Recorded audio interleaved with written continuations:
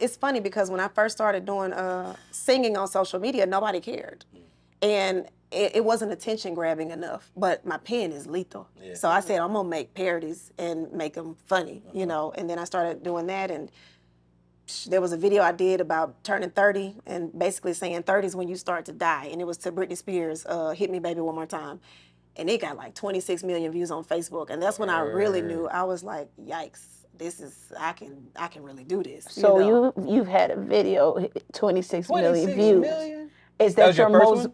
That's probably my most viral video. That's the first time. That's not the first time I went viral, but that's the most viral video I've ever had. And Mm. it was like, that was four years ago. So I mean, I love I love when the, the transitions happen themselves. So over here at Skit Godz, we have a, a portion where we uh call what is it? Going viral. Going and viral. so yes. You saying that's your most viral video, right? It got the most views. Most yeah. views, but your most viral video we about to play. And while they getting that ready, do me a favor.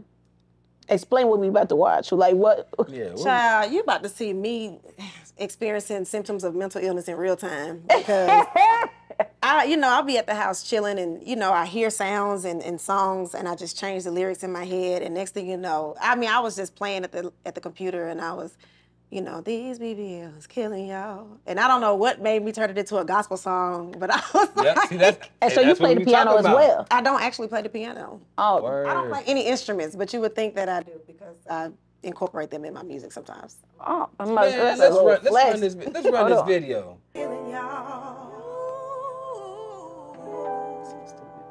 And the thighs don't match.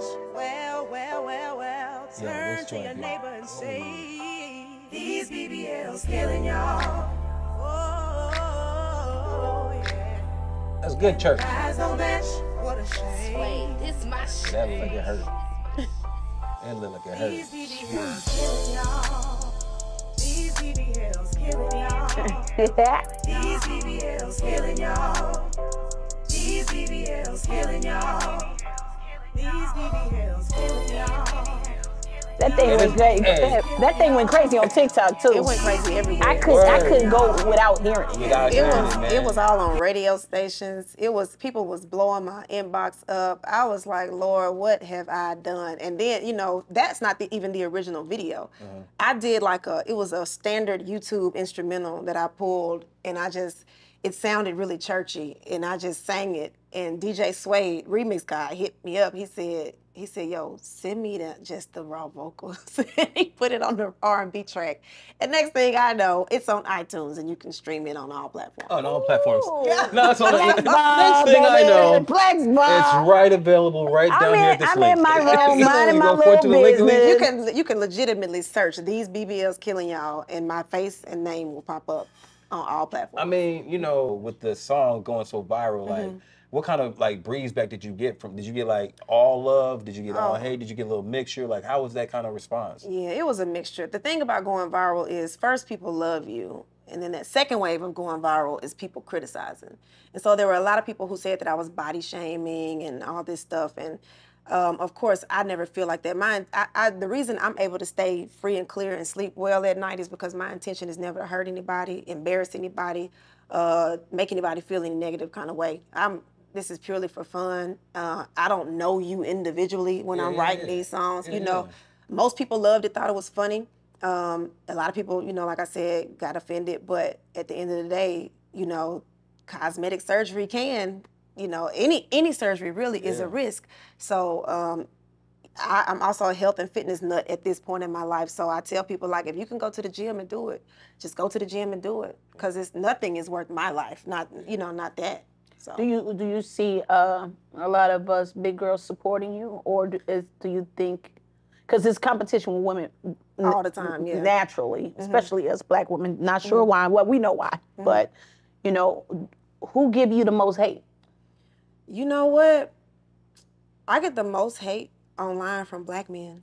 Crazy. Word. Tell, talk Yeah. about it. Um, and it's because you know, like I may make a joke, uh, like uh, a lot of the videos where I say, "Oh, you finna do this, ain't it?"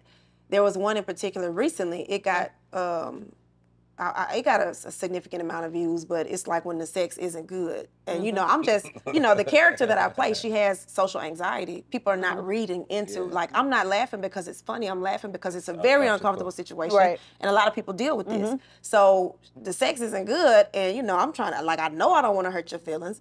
I know I don't want to cause a, a argument, and I might still like you, but I'm finna have to cheat on you. You know what I'm saying? you know, like at the end of the day. And so there were, you know, black men were in the comments, you know, they were, these the kind of women you don't want, you know, you don't want to deal with people. They passed around about, you know, they they they show their insecurities so boldly in the comments mm-hmm. when you say anything that triggers them. It's like, bro, I don't know you from Adam, the man in the moon, Mickey Mouse, Tom and Jerry. Mm-hmm. But you came here to let me know that this in particular hurt your feelings. And it had literally nothing to do with you. So um, it's always crazy to get the feedback from that. They call them uh, incels. They're involuntarily celibate. That's what that means. Ah. Oh man, So, fellas, come on, y'all yeah. gotta get y'all So something. I got a lot of people in the comments that do stuff like that. But like I said, my intentions are always pure. I'm trying to entertain, and this is this is something that I do because I like Yeah. to do it. So I'm not, you know, trying to man bash or nothing like that.